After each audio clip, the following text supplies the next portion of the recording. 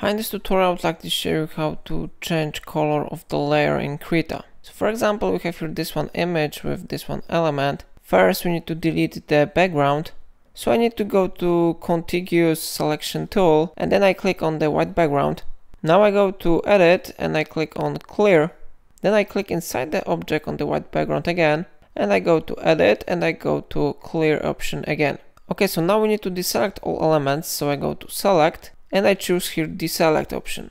Now we need to choose one really important option. We need to go to select tab, then we need to go to select opaque and here we have something like select opaque replace. We need to click on it. Then our object will be selected here. So now we need to click on the icon with an arrow on the right side of plus and then I select here add fill layer. Now we need to go to color tab and then we need to click on color option. We can select here color that we want to use. For example, I will select this one color and then I click OK button. Then I click OK button again and how you see color of the layer has been successfully changed and my object is blue now. So it's all for today. If I helped you to do it, remember to like this tutorial and subscribe my channel and let me know in comment if it solved your problem.